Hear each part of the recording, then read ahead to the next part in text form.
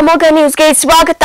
ನಾನು ಸ್ಮಿತಾ. ತುಮಕೂರು ಜಿಲ್ಲಾ ಮಟ್ಟದಲ್ಲಿ ಕಾಂಗ್ರೆಸ್ ಯುವ ನಿಧಿ ಯೋಜನೆಗೆ ಗೃಹ ಸಚಿವ ಡಾಕ್ಟರ್ ಜಿ ಪರಮೇಶ್ವರ್ ಯುವ ನಿಧಿ ಪೋಸ್ಟರ್ ಬಿಡುಗಡೆ ಮಾಡಿ ಚಾಲನೆ ನೀಡಿದರು. ತುಮಕೂರು ಜಿಲ್ಲಾಧಿಕಾರಿ ಕಚೇರಿಯಲ್ಲಿ ಕಾರ್ಯಕ್ರಮಕ್ಕೆ ಚಾಲನೆ ನೀಡಿ ಮಾತನಾಡಿದ ಸಚಿವರು, ಸರ್ಕಾರ ಐದು ಗ್ಯಾರಂಟಿಗಳನ್ನ ಅನುಷ್ಠಾನಕ್ಕೆ ತರುವ ತೀರ್ಮಾನವನ್ನ ಮೊದಲ ಸಂಪುಟದಲ್ಲಿ ತೆಗೆದುಕೊಂಡಿದ್ವಿ. ಇದೀಗ ನಾಲ್ಕು ಗ್ಯಾರಂಟಿಯನ್ನ ಸಾರ್ವಜನಿಕರಿಗೆ ಮುಟ್ಟಿಸುವಂತಹ ಕೆಲಸವನ್ನ ಮಾಡಿಕೊಂಡು ಬರ್ತಿದ್ದೇವೆ. ಐದನೇ ಗ್ಯಾರಂಟಿ ಯುವ ನಿಧಿ ಪದವೀಧರರಿಗೆ ಮೂರು ಸಾವಿರ, ಡಿಪ್ಲೊಮೋದವರಿಗೆ ಒಂದೂವರೆ ಸಾವಿರ ಕೊಡುತ್ತಿದ್ದೇವೆ.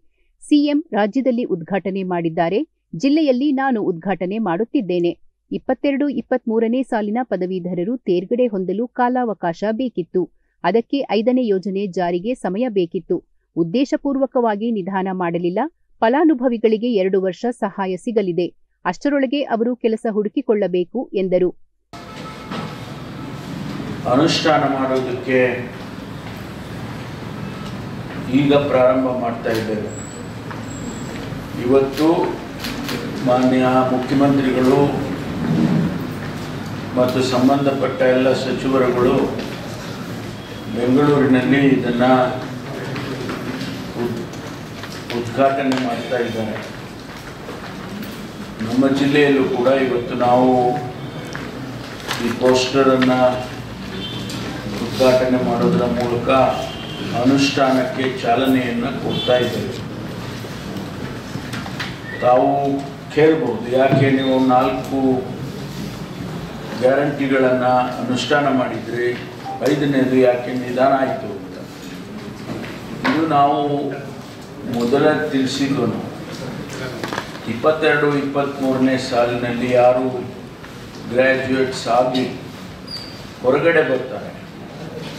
ಅಂದರೆ ಸಮಯ ಇರುತ್ತೆ. ರಿಜಿಸ್ಟರ್ ಮಾಡಿ ಇಪ್ಪತ್ತ್ಮೂರು ಇಪ್ಪತ್ತ್ನಾಲ್ಕನೇ ಸಾರಿ ಇಪ್ಪತ್ತೆರಡು ಇಪ್ಪತ್ತ್ಮೂರನೇ ಸಾಲಿನಲ್ಲಿ ಅವರು ಫೈನಲ್ ಇಯರಿಗೆ ಬಂದು ಪಾಸ್ ಔಟ್ ಆಗ್ತಾರೆ. ಪಾಸ್ ಔಟ್ ಆದಮೇಲೆ ಆರು ತಿಂಗಳು ಅವರಿಗೆ ಸಮಯ ಇರುತ್ತೆ. ಅದರ ನಂತರ ನಾವು ಅವರಿಗೆ ರಿಜಿಸ್ಟರ್ ಮಾಡಿಕೊಂಡು ಈ ಉದ್ಯೋಗ ಭತ್ಯೆಯನ್ನು ಕೊಡ್ತೇವೆ ಅಂತ ಹೇಳಿ ನಾವು ಮೊದಲೇ ತಿಳಿಸಿದ್ದೇವೆ. ಹಾಗಾಗಿ ಆ ಸಮಯ ನಮಗೆ ಬೇಕಾಗಿತ್ತು. ಅವರು ಪದವೀಧರರಾಗಿ ಆಚೆ ಬರೋದಕ್ಕೆ, ಆ ಆರು ತಿಂಗಳ ಅವಧಿ ಮುಗಿಯೋದಕ್ಕೆ ಆ ಸಮಯ ಬೇಕಾಗಿತ್ತು. ಅದಕ್ಕಾಗಿ ಅದು ಮುಂದಕ್ಕೆ ಹೋಗಿದೆ.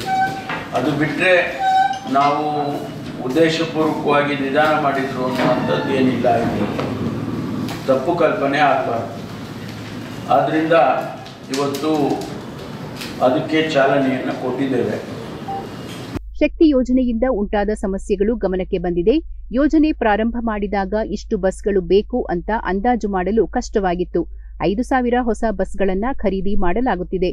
ಗೃಹಲಕ್ಷ್ಮಿ ಯೋಜನೆ ತಾಂತ್ರಿಕ ತೊಂದರೆಯಾಗಿದೆ. ಹಣದ ವಿಚಾರದಲ್ಲಿ ತೊಂದರೆಯಾಗಿಲ್ಲ. ನಮ್ಮ ಐದು ಗ್ಯಾರಂಟಿಯನ್ನ ನಿಲ್ಲಿಸಲ್ಲ. ನಮ್ಮ ಸರ್ಕಾರ ಇರೋವರೆಗೂ ಮುಂದುವರಿಯುತ್ತದೆ. ಯಾರೂ ಆತಂಕ ಪಡುವಂತಿಲ್ಲ ಎಂದರು. ತುಮಕೂರಿನಲ್ಲಿ ಹೆಚ್ಚಾದ ಕಳ್ಳತನ ಪ್ರಕರಣದ ಕುರಿತು ಮಾತನಾಡಿ ಈಗಾಗಲೇ ರಾಜ್ಯಾದ್ಯಂತ ಎಸ್ಪಿಗಳಿಗೆ ಸೂಚನೆ ನೀಡುತ್ತೇವೆ. ಕ್ರೈಂ ಕಂಟ್ರೋಲ್ ಮಾಡಲು ಸೂಚನೆ ನೀಡಿದ್ದೇವೆ ಎಂದರು. ಗಜೇಂದ್ರ ಅಮೋಕ್ ಟಿವಿ ತುಮಕೂರು. ತಿಪಟೂರು ನಗರದ ಶ್ರೀ ಕಲ್ಲೇಶ್ವರ ಸ್ವಾಮಿ ದೇವಾಲಯದ ಆವರಣದಲ್ಲಿ ದತ್ತಮಾಲೆ ಜಯಂತ್ಯೋತ್ಸವ ಆಚರಣೆ ನಡೆಸಲಾಯಿತು. ಶ್ರೀ ಕಲ್ಲೇಶ್ವರ ಸ್ವಾಮಿ ಹಾಗೂ ತಿಪಟೂರು ಗ್ರಾಮ ದೇವತೆ ಶ್ರೀ ಕೆಂಪಮ್ಮ ದೇವಿ ದೇವಾಲಯದಲ್ಲಿ ವಿಶೇಷ ಪೂಜೆ ಸಲ್ಲಿಸಿದರು. ಶ್ರೀ ಕಲ್ಲೇಶ್ವರ ಸ್ವಾಮಿ ಮುಂಭಾಗದಲ್ಲಿ ಶ್ರೀ ದತ್ತಾತ್ರೇಯ ಸ್ವಾಮಿ ಹಾಗೂ ಆಂಜನೇಯ ಸ್ವಾಮಿ ವಿಗ್ರಹ ಪ್ರತಿಷ್ಠಾಪಿಸಿ ದತ್ತ ಹೋಮ ನಡೆಸಲಾಯಿತು. ನಿವೃತ್ತ ಪೊಲೀಸ್ ಅಧಿಕಾರಿ ಹಾಗೂ ಕಾಂಗ್ರೆಸ್ ಮುಖಂಡ ಲೋಕೇಶ್ವರ್ ದತ್ತ ಹೋಮಕ್ಕೆ ಪೂರ್ಣಾಹುತಿ ನೆರವೇರಿಸಿದರು.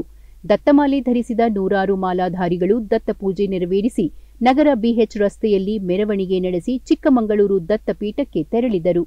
ಕಾರ್ಯಕ್ರಮಕ್ಕೆ ಹಳ್ಳಿಕಾರ್ ಸಾಮ್ರಾಜ್ಯ ಸಮಿತಿ ಅಧ್ಯಕ್ಷ ಮಡೇನೂರು ವಿನಯ್, ಲೋಕೇಶ್, ರೇಣು ಸೇರಿದಂತೆ ನೂರಾರು ಜನರು ಉಪಸ್ಥಿತರಿದ್ದರು. ದತ್ತ ಜಯಂತ್ಯೋತ್ಸವದ ಅಂಗವಾಗಿ ಅನ್ನಸಂತರ್ಪಣೆ ಏರ್ಪಡಿಸಲಾಗಿತ್ತು. ಬೆಳಗಾವಿ ಜಿಲ್ಲೆಯ ರಾಮದುರ್ಗ ತಾಲೂಕಿನ ವಿದ್ಯಾಚೇತನ ಶಾಲಾ ಆವರಣದಲ್ಲಿ ಗುರುಭವನದ ಭೂಮಿ ಪೂಜೆಯನ್ನ ಶಾಸಕ ಅಶೋಕ್ ಪಟ್ಟಣ್ರವರು ನೆರವೇರಿಸಿದ್ರು. ಕರ್ನಾಟಕ ರಾಜ್ಯ ಶಿಕ್ಷಕರ ಕಲ್ಯಾಣ ನಿಧಿ, ಕರ್ನಾಟಕ ರಾಜ್ಯ ವಿದ್ಯಾರ್ಥಿಗಳ ಕ್ಷೇಮಾಭಿವೃದ್ಧಿ ನಿಧಿ, ರಾಷ್ಟ್ರೀಯ ಶಿಕ್ಷಕರ ಕಲ್ಯಾಣ ಪ್ರತಿಷ್ಠಾನ, ತಾಲೂಕು ಗುರುಭವನ ಸಮಿತಿ ರಾಮದುರ್ಗ ಆಶ್ರಯದಲ್ಲಿ ಗುರುಭವನದ ಭೂಮಿ ಪೂಜೆ ನೆರವೇರಿಸಿ ಮಾತನಾಡಿದ ಶಾಸಕ ಅಶೋಕ್ ಪಟ್ಟಣ್, ಶಿಕ್ಷಣ ಇಲಾಖೆಗೆ ಸಂಬಂಧಿಸಿದಂತೆ ನಮ್ಮಿಂದ ಆಗುವ ಪ್ರಾಮಾಣಿಕ ಪ್ರಯತ್ನಗಳನ್ನು ಮಾಡಿ ಅಭಿವೃದ್ಧಿ ಮಾಡುವೆ ಎಂದರು.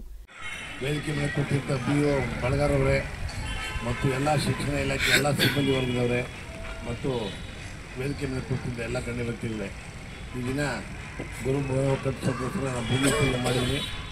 ಭಾಳ ಸಂತೋಷ ಆಯಿತು ಅಂದರೆ ತಾವು ಧಾರಾಳವಾಗಿ ಮನಸ್ಸಾ ಇಚ್ಛೆ ನಾವೆಲ್ಲ ದೇಣಿಗೆ ಕೊಟ್ಟಿದ್ದೀರಿ ಇದೇ ರೀತಿ ನಿಮ್ಮ ಇಲಾಖೆ ಮುಂದೆ ಏನೇ ಕೆಲಸ ಬಂದರೂ ಕೂಡ ತಾವು ಅದೇ ರೀತಿ ದೇಣಿಗೆ ಮುಂದೆ ಅಲ್ಲ ತಾವೆಲ್ಲ ಶಿಸ್ತಾಗಿ ತಮ್ಮ ಕಾರ್ಯ ತಮ್ಮ ಶಿಕ್ಷಣ ಇಲಾಖೆಗೆ ಯಾವುದೇ ಬಂದು ಕೂಡ ತಾವೆಲ್ಲ ಒಗ್ಗಟ್ಟಾಗಿ ಕೆಲಸ ಮಾಡಿಕೊಂಡು ಮಕ್ಕಳಿಗೂ ಕೂಡ ಚೆನ್ನಾಗಿ ಇದಾಗಬೇಕು.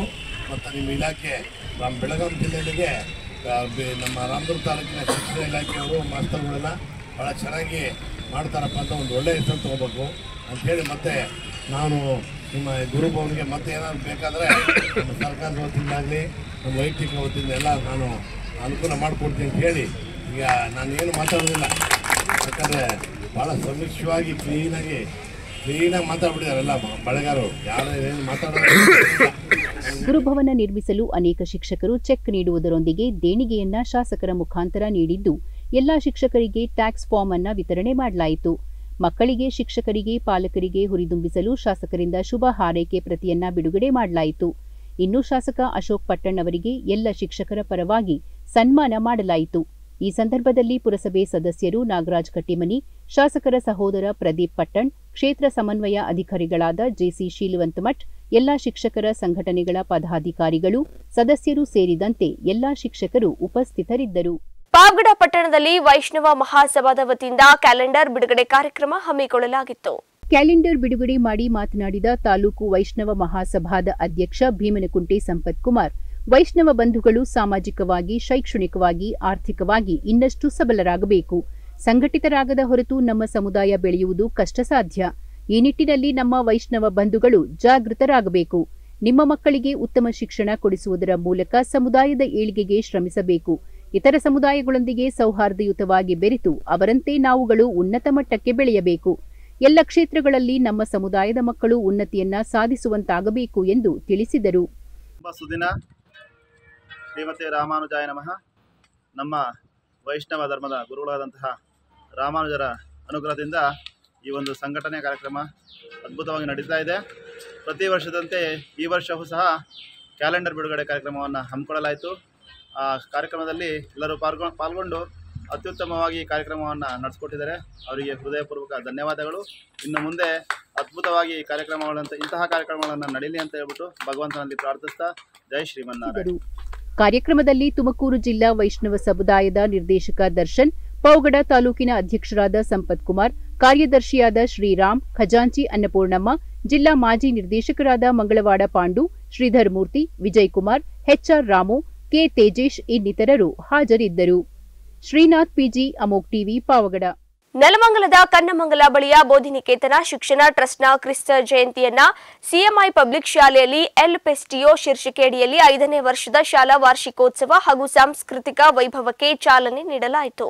ಕಾರ್ಯಕ್ರಮಕ್ಕೆ ದೀಪ ಬೆಳಗುವುದರೊಂದಿಗೆ ಚಾಲನೆ ನೀಡಿದ ಬೆಂಗಳೂರಿನ ಭಾರತೀಯ ವಿಜ್ಞಾನ ಸಂಶೋಧನಾ ಸಂಸ್ಥೆಯ ನಿಕಟಪೂರ್ವ ನಿರ್ದೇಶಕ ಪದ್ಮಭೂಷಣ ಪ್ರೊಫೆಸರ್ ಪಿ ಬಲರಾಮ್ ರವರು ಮಾತನಾಡಿ, ಚಂದ್ರಯಾನದ ಯಶಸ್ಸು ಮತ್ತು ಬಾಹ್ಯಾಕಾಶದ ಸಾಧನೆಗಳು ಇಡೀ ವಿಶ್ವಕ್ಕೆ ಸಂದ ಗೌರವ. ವೈಜ್ಞಾನಿಕ ಜಗತ್ತು ವಿಸ್ತಾರವಾಗುತ್ತಿರುವುದು ಸ್ವಾಗತಾರ್ಹ ವಿಚಾರ ಎಂದರು.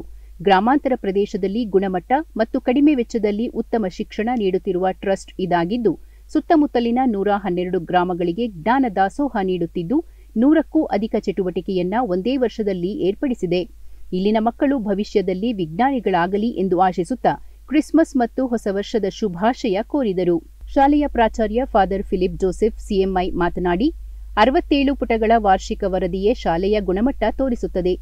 ಅಂಕಾಧರಿತ ಕಲಿಕೆಗಿಂತ ಚಟುವಟಿಕೆ ಮತ್ತು ಸ್ವಯಂ ಕಲಿಕೆಗೆ ಪೂರಕ ವಾತಾವರಣ ನೀಡಿದ್ದೇವೆ. ತ್ರಿಭಾಷಾ ಸೂತ್ರವಾಗಿ ಕನ್ನಡ ಇಂಗ್ಲಿಷ್ ಹಿಂದಿ ಮೂರಕ್ಕೂ ಪ್ರಾತಿನಿಧ್ಯ ನೀಡಿ ಅನುಭವಿ ಬೋಧಕರು ಸ್ವಯಂ ಅರ್ಪಣಾ ಮನೋಭಾವದಿಂದ ಇಲ್ಲಿ ಉಳಿದಿರುವ ಶಿಕ್ಷಕರೇ ನಮ್ಮ ಶಕ್ತಿ ಎಂದರು. Uh, being a principal, I am so proud of, of this uh, institution. You know, we started with uh, 65 students. Now we have more than 575 students. It is the second uh, full academic year. Though we started the school uh, during the COVID time, uh, we conducted all the classes online we conducted the examinations and we conducted the VTM online. So what we can say, our students are very smart. They're very smart. My special intention philosophy is make the children happy always. That's why we select the theme happiness this year for the annual celebration. And the parents are very cooperative. We have students from 100, 128 villages. Even from the Bellapura, from Rajankote, Vasaragata, Mandalamangala, Tamundulu, so from Banavara. Now they, we are providing all the facilities. As I said, we need to improve their communication skill, confidence skill, discipline, moral values. And so we are conducting so many programs. Uh, you might have observed how the children are performing on the stage. Very confident.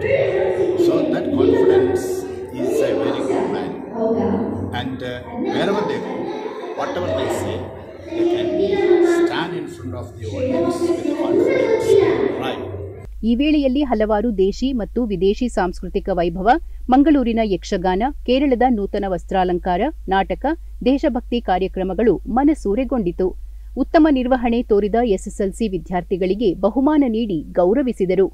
ಕಾರ್ಯಕ್ರಮದಲ್ಲಿ ಶಾಲೆಯ ಬೋಧಕ ಮತ್ತು ಬೋಧಕೇತರ ಸಿಬ್ಬಂದಿ, ಸಾವಿರಾರು ಪೋಷಕರು, ವಿದ್ಯಾರ್ಥಿಗಳು, ಸ್ಥಳೀಯ ಮುಖಂಡರು ಉಪಸ್ಥಿತರಿದ್ದರು. ತಗ್ಗಿಕುಪ್ಪೆ ಶ್ರೀಧರ್, ಅಮೋಕ್ ಟಿವಿ, ನೆಲಮಂಗಲ. ನಿವೇಶನ ರಹಿತ ದಲಿತ ಮಹಿಳೆಯೋರ್ವಳು ಮನೆ ಕಟ್ಟಲು ಮುಂದಾಗಿದ್ದು ರಾಜಕೀಯ ಪ್ರಭಾವಿಗಳಿಗೆ ಒತ್ತಡಕ್ಕೆ ಮಣಿದ ಅಧಿಕಾರಿಗಳು ಮನೆ ನಿರ್ಮಿಸಲು ಅಡ್ಡಿಪಡಿಸುತ್ತಿರುವ ಘಟನೆ ಚಿಂತಾಮಣಿ ತಾಲೂಕಿನ ಕೋರ್ಲಪರ್ತಿ ಗ್ರಾಮ ಪಂಚಾಯಿತಿ ವ್ಯಾಪ್ತಿಯ ಕದಿರೇನಹಳ್ಳಿ ಗ್ರಾಮದಲ್ಲಿ ನಡೆದಿದೆ. ಕದಿರೇನಹಳ್ಳಿ ಗ್ರಾಮದ ಸರ್ವೆ ನಂಬರ್ ಎಪ್ಪತ್ತಾರರಲ್ಲಿ ಹಲವು ವರ್ಷಗಳಿಂದ ಪ್ರಮೀಳಾ ಎಂಬ ದಲಿತ ಮಹಿಳೆ ಗುಡಿಸಲು ಹಾಕಿಕೊಂಡು ಜೀವನ ಮಾಡುತ್ತಿದ್ದಾರೆ. ಆದರೆ ಈಗ ಅದೇ ಸ್ಥಳದಲ್ಲಿ ಗುಡಿಸಲು ಮನೆ ತೆಗೆದು ಪಾಯ ಹಾಕಿ ಮನೆ ನಿರ್ಮಾಣ ಮಾಡಲು ಮುಂದಾಗಿದ್ದಾರೆ. ಆದರೆ ಕಂದಾಯ ಇಲಾಖೆ ಅಧಿಕಾರಿಗಳು ಕೆಲ ರಾಜಕೀಯ ಪ್ರಭಾವಿಗಳ ಮಾತುಗಳಿಗೆ ಮಣಿದು ವಸತಿ ರಹಿತ ದಲಿತ ಮಹಿಳೆಯು ಮನೆ ಕಟ್ಟದಂತೆ ತಡೆಯಲು ಮುಂದಾಗಿದ್ದಾರೆ. ಇನ್ನು ವಾಸಿಸಲು ಮನೆ ಇಲ್ಲದೆ ದೇವಾಲಯದ ಬಳಿ ವಾಸವಾಗಿರುವ ಪ್ರಮೀಳಾರವರು ಪಾಯದ ಬಳಿ ಅಂಬೇಡ್ಕರ್ ರವರ ಭಾವಚಿತ್ರದೊಂದಿಗೆ ಪ್ರತಿಭಟನೆಗೆ ಮುಂದಾಗಿದ್ದು, ಮನೆ ನಿರ್ಮಾಣಕ್ಕೆ ಅಡ್ಡಿ ಬಂದರೆ ನಾನು ಇಲ್ಲೇ ಕತ್ತು ಕೊಯ್ದುಕೊಂಡು ಸಾಯುತ್ತೇನೆ ಎಂದು ತಮ್ಮ ಅಳಲನ್ನ ತೋಡಿಕೊಂಡಿದ್ದಾರೆ. ನನಗೆ ಹದಿನೈದು ವರ್ಷದಿಂದ ಇಲ್ಲಿ ಗುಡಿಸಲು ಹಾಕ್ಕೊಂಡಿದ್ದೀನಿ ಇಲ್ಲಿ ದೇವಸ್ಥಾನದಲ್ಲಿ ಇರ್ತೀನಿ. ನಾನು ಕೂಲಿ ಕೆಲಸ ಮಾಡ್ಕೊಂಡು ಇಬ್ಬರು ಮಕ್ಕಳಿದ್ದಾರೆ ನಾನು ಕೂಲಿ ಕೆಲಸ ಮಾಡ್ಕೊಂಡು ಅಷ್ಟು ಅಷ್ಟು ದುಡ್ಡು ಎತ್ತಿಕೊಂಡು ಈಗ ಮನೆ ಕಟ್ಟೋಕ್ಕೆ ಸ್ಟಾರ್ಟ್ ಮಾಡಿದಾಗಿಂದ ರೆವಿನ್ಯೂ ಡಿಪಾರ್ಟ್ಮೆಂಟ್ ಪೊಲೀಸ್ ಡಿಪಾರ್ಟ್ಮೆಂಟ್ ಅವರು ಮನೆ ಕಟ್ಟಕ್ಕೆ ಬಿಡ್ತಾ ಇಲ್ಲ. ಬಂದು ಬಂದು ತೊಂದರೆ ಮಾಡ್ತಾವ್ರೆ. ಇದೆ. ಕಾರಣ ಆಗಿ ಮುತ್ತುರಾಜು ಕೆಲಸ ನಿಲ್ಲಿಸ್ತವ್ರೆ ಕೆಲಸ ಸ್ಟಾರ್ಟ್ ಮಾಡಿದಾಗಿಂದ ಈ ಸರ್ವೆ ನಮ್ಮ ಮನೇಲಿ ತುಂಬಾ ಮನೆಗೆ ನಲ್ವತ್ತು ಮನೆಗಳಿದೆ. ಯಾರು ಗೋಮಾಲ. ಜಾಗದಲ್ಲಿ ಎಪ್ಪತ್ತಾರನೇ ಸರ್ವೆ ನಂಬರ್ನಲ್ಲಿ ನಲ್ವತ್ತು ನಲ್ವತ್ತೈದು ಮನೆಗಳಿದ್ದಾವೆ ಯಾರಿಗೂ ತೊಂದರೆ ಕೊಡ್ತಾರೆ ನಮಗೆ ತುಂಬಾ ತೊಂದರೆ ಕೊಡ್ತಾವ್ರಿ. ಮನೆ ಕಟ್ಟಕ್ಕೆ ಸ್ಟಾರ್ಟ್ ಮಾಡಿದಾಗ ಇದೇ ಥರ ಮುಂದುವರೆದರೆ ಇದೇ ತರ ಟಾರ್ಚರ್ ಕೊಟ್ರೆ ನಾವಿಲ್ಲೇ ಕೊತ್ ಕುಯ್ಕೊಂಡು ಸಾಯೋದಕ್ಕೆ ರೆಡಿ ಡಿಪಾರ್ಟ್ಮೆಂಟ್ ಪೊಲೀಸ್ ಡಿಪಾರ್ಟ್ಮೆಂಟ್ ಅವ್ರು ಬಂದು ಬಂದು ಕೆಲಸ ಸ್ಟಾಪ್ ಮಾಡಿಸ್ತಾರೆ ಸರ್ ಅಲ್ಲ ಯಾಕೆ? ಅವ್ರಿಗೆ ಯಾರು ಸರ್. ಯಾರು? ಅವ್ರ ಹೆಸರು ಮುನಿಯಪ್ಪ ಮುನ್ರಾಜು ವೆಂಕಟಣ್ಣಪ್ಪ ಲಕ್ಷ್ಮೀದೇವಮ್ಮ ಮುನಿರತ್ನಮ್ಮ. ಇವರೆಲ್ಲ ಸರ್ ಇವ್ರವ್ರನ್ನ ಇವರು ಒಂದು ಚಿಂತಾಮಣಿ ಸರ್ ಅವ್ರು ಇರೋದು ಅವರೆಲ್ಲ ಚಿಂತಾಮಣಿಯಲ್ಲಿ ಇರೋದು. ಈಗ ಯಾಕೆ ಅವ್ರು ದುಡ್ಡು ಕೊಟ್ಟಿರೋದಿಲ್ಲ? ಅವ್ರದ್ದು ಏನಾದ್ರು ಅವ್ರದ್ದು ಏನಾದ್ರು ಜಮೀನು ಇದೆಯಲ್ಲ ಅವ್ರದ್ದು ಯಾವ್ದು ಜಮೀನು ಇಲ್ಲ ಸರ್ ಅವ್ರು ಅಲ್ಲ ಅವ್ರದ್ದೇನ ಅವ್ರದ ಜಮೀನು ಏನಾದ್ರೂ ಅಲ್ಲ ಸರ್ ಅವ್ರದ್ದಲ್ಲ ಸರ್ ಜಮೀನು ಇದು ಗೋಮಾಲ ಸರ್. ಯಾವ ತರ ಜಗಳನೂ ಇಲ್ಲ ಸರ್. ಮತ್ತೆ ಏಕಾಏಕಿ ನೀವು ಮನೆ ಕಟ್ಟೋ ಸಂದರ್ಭದಲ್ಲಿ ಅವ್ರ ಮನೆ ಕಟ್ಟೋದು ನಿಲ್ಲಿಸ್ತಾ ಇದಾರೆ ಅಂತಂದ್ರೆ ಏನು ಅದ್ರ ಹಿನ್ನೆಲೆ ಏನು? ಸರ್ ಅವ್ರು ಬಂದು ಬಂತು ಅದೇ ಮಾಡ್ತಾರೆ ಸರ್ ಅವರೇ ಸರ್. ಕೇಸು ಕಂಪ್ಲೇಂಟ್ ಎಲ್ಲ ಕೊಟ್ಟು ಈಗಾಗಲೇ ನಮ್ಮ ಅಣ್ಣವ್ರ ಮೇಲೆಲ್ಲ ಸುಮ್ ಸುಮ್ಮನೆ ಕಂಪ್ಲೇಂಟ್ ಎಲ್ಲ ಕೊಟ್ಟವ್ರೆ ಸರ್ ಅವರು. ಎಫ್ ಐ ಆರ್ ಕೂಡ ಮಾಡ್ಸವ್ರೆ ಸರ್ ಈಗಲೂ ನಮ್ಮ ಅಣ್ಣ ಅವರೆಲ್ಲ ಕೋರ್ಟು ಕಚೇರಿ ಅಂತ ಓಡಾಡ್ತಾನೆ ಅವರೇ ಸರ್ ಅವರು. ಒಂದು ಒಂದು ತಿಂಗಳಿಂದ ಓಡಾಡ್ತಾವ್ರೆ ಸರ್ ನಮ್ಮ ಅಣ್ಣವ್ರಿಗೂ ತುಂಬ ತೊಂದರೆ ಕೊಡ್ತಾರೆ ಸರ್ ಅವರು.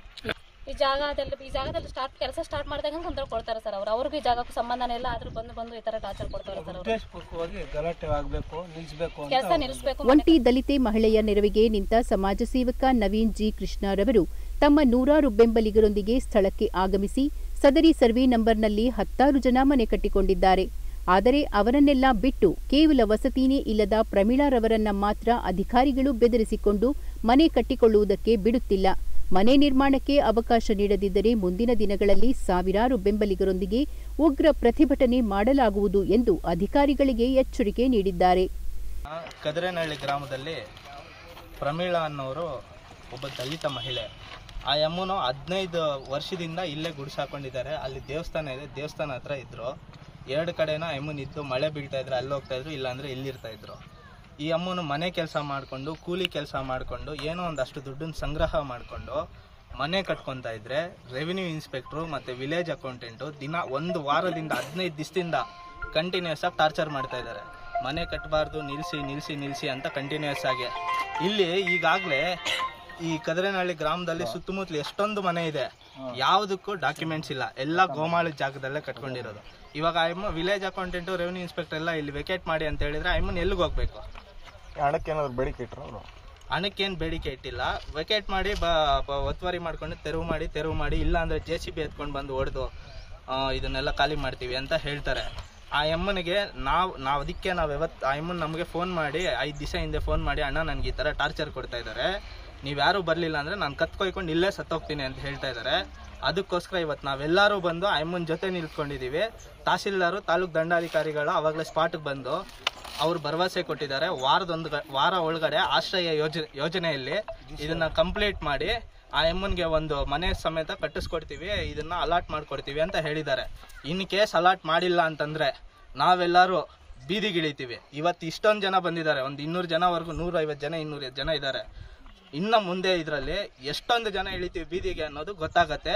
ಅದಕ್ಕೆ ದಯವಿಟ್ಟು ತಮ್ಮ ಮಾಧ್ಯಮ ಮಿತ್ರರನ್ನ ನಾನು ಬೇಡ್ಕೊಳ್ಳೋದು ಏನಂತಂದ್ರೆ ದಯವಿಟ್ಟು ನೀವು ಈ ಒಂದು ಇನ್ಸಿಡೆಂಟ್ನ ನಡೀತಾ ಇರೋದನ್ನ ಜನರಿಗೆ ಡಿ ಸಿ ಗಮನಕ್ಕೆ ಹೋಗೋವರೆಗೂ ತಾವು ತಲುಪಿಸ್ಬೇಕಂತ ತಮ್ಮನ್ನು ವಿನಂತಿ ಮಾಡ್ಕೊಂತೇವೆ. ಧನ್ಯವಾದಗಳು. ಥ್ಯಾಂಕ್ ಯು ಇನ್ನು ಸ್ಥಳಕ್ಕೆ ಆಗಮಿಸಿದ ಚಿಂತಾಮಣಿ ತಹಸೀಲ್ದಾರ್ ಸುದರ್ಶನ್ ಯಾದವ್ ರವರು ಸ್ಥಳವನ್ನ ಪರಿಶೀಲನೆ ನಡೆಸಿ ದಾಖಲೆಗಳನ್ನ ಪರಿಶೀಲನೆ ನಡೆಸಿ ಒಂದು ವಾರ ಅಥವಾ ಹದಿನೈದು ದಿನಗಳ ಒಳಗಾಗಿ ಮನೆ ಕಟ್ಟಿಕೊಳ್ಳಲು ಅವಕಾಶ ಕೊಡುವುದಾಗಿ ಭರವಸೆ ನೀಡಿದ ನಂತರ ಪ್ರತಿಭಟನಾಕಾರರು ತಮ್ಮ ಪ್ರತಿಭಟನೆಯನ್ನ ಹಿಂಪಡೆದರು. ಯಾವುದೇ ಅಹಿತಕರ ಘಟನೆ ನಡೆಯದಂತೆ ಕೆಂಚಾರ್ಲಹಳ್ಳಿ ಪೊಲೀಸ್ ಠಾಣೆಯಿಂದ ಸೂಕ್ತ ಪೊಲೀಸ್ ಬಂದೋಬಸ್ತ್ ವ್ಯವಸ್ಥೆ ಮಾಡಲಾಗಿತ್ತು. ಕೋವಿಡ್ ಮುಂಜಾಗೃತಾ ಕ್ರಮಗಳ ಕುರಿತಂತೆ ಮಾನ್ಯ ಆರೋಗ್ಯ ಸಚಿವ ದಿನೇಶ್ ಗುಂಡೂರಾವ್ ಅವರ ಅಧ್ಯಕ್ಷತೆಯಲ್ಲಿ ಕ್ಯಾಬಿನೆಟ್ ಸಬ್ ಕಮಿಟಿ ಸಭೆಯನ್ನು ಆಯೋಜಿಸಲಾಗಿತ್ತು. ರಾಜ್ಯದಲ್ಲಿ ಕೋವಿಡ್ ಪ್ರಕರಣಗಳು ದಿನೇ ದಿನೇ ಹೆಚ್ಚಾಗುತ್ತಿದ್ದು ಆರೋಗ್ಯ ಸಚಿವ ದಿನೇಶ್ ಗುಂಡೂರಾವ್ ಅವರ ಅಧ್ಯಕ್ಷತೆಯಲ್ಲಿ ಮುಂಜಾಗ್ರತಾ ಸಭೆಯನ್ನ ಹಮ್ಮಿಕೊಳ್ಳಲಾಗಿತ್ತು. ಮಾನ್ಯ ಸಮಾಜ ಕಲ್ಯಾಣ ಸಚಿವರಾದ ಎಚ್ಸಿ ಮಹದೇವಪ್ಪ ಸೇರಿದಂತೆ ಆರೋಗ್ಯ ಇಲಾಖೆ ಆಯುಕ್ತರಾದ ರಣದೀಪ್, ಟಿಎಸಿ ಸಮಿತಿ ಅಧ್ಯಕ್ಷರಾದ ಡಾ ರವಿ ಎನ್ಎಚ್ಎಂ ಎಂಡಿ ನವೀನ್ ಭಟ್ ಸೇರಿದಂತೆ ಆರೋಗ್ಯ ಇಲಾಖೆ ಹಾಗೂ ವೈದ್ಯಕೀಯ ಶಿಕ್ಷಣ ಇಲಾಖೆ ಅಧಿಕಾರಿಗಳು ಭಾಗಿಯಾಗಿದ್ದರು.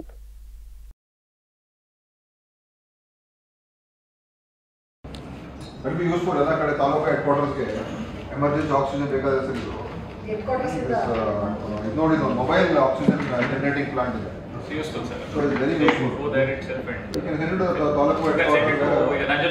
ಕೋವಿಡ್ ಪಾಸಿಟಿವ್ ಬಂದವರಿಗೆ ಕಡ್ಡಾಯ ಏಳು ದಿನ ಹೋಮ್ ಐಸೋಲೇಷನ್ ಅವಶ್ಯಕವಿದ್ದು ಸೋಂಕಿತರು ಮನೆಗಳಿಗೆ ವೈದ್ಯರು ಭೇಟಿ ನೀಡಿ ನಿಗಾ ವಹಿಸಬೇಕು ಅಂತ ಆರೋಗ್ಯ ಸಚಿವ ದಿನೇಶ್ ಗುಂಡೂರಾವ್ ಆರೋಗ್ಯ ಅಧಿಕಾರಿಗಳಿಗೆ ಸೂಚನೆ ನೀಡಿದ್ದಾರೆ. ಸಚಿವ ದಿನೇಶ್ ಗುಂಡೂರಾವ್ ಅವರ ಅಧ್ಯಕ್ಷತೆಯಲ್ಲಿ ಬೆಂಗಳೂರಿನ ವಿಧಾನಸೌಧದಲ್ಲಿ ರಾಜ್ಯದಲ್ಲಿ ಕೋವಿಡ್ ನಿಯಂತ್ರಣ ಕ್ರಮಗಳ ನಿಟ್ಟಿನಲ್ಲಿ ಸಂಪುಟ ಉಪಸಮಿತಿ ಸಭೆ ನಡೆದಿದ್ದು, ಹೊಸ ವರ್ಷಾಚರಣೆಗೆ ಸದ್ಯಕ್ಕೆ ನಿರ್ಬಂಧ ಹೇರುವುದು ಬೇಡ ಎಂಬ ನಿರ್ಧಾರವನ್ನು ತೆಗೆದುಕೊಳ್ಳಲಾಯಿತು. ಆದರೆ ಎಚ್ಚರಿಕೆ ವಹಿಸುವ ನಿಟ್ಟಿನಲ್ಲಿ ಸಾರ್ವಜನಿಕರಲ್ಲಿ ಜಾಗೃತಿ ಮೂಡಿಸುವುದರ ಜೊತೆಗೆ ಹೆಚ್ಚು ಜನ ಸೇರುವ ಸ್ಥಳಗಳಲ್ಲಿ ಜನರು ಮಾಸ್ಕ್ ಹಾಕಿಕೊಳ್ಳುವಂತೆ ಸಲಹೆ ನೀಡಲು ನಿರ್ಧರಿಸಲಾಯಿತು.